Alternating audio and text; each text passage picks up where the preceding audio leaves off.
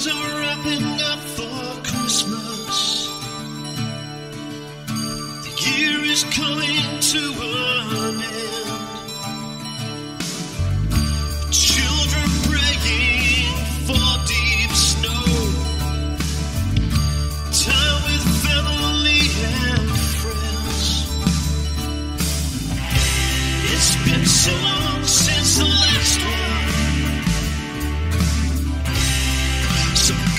enjoy your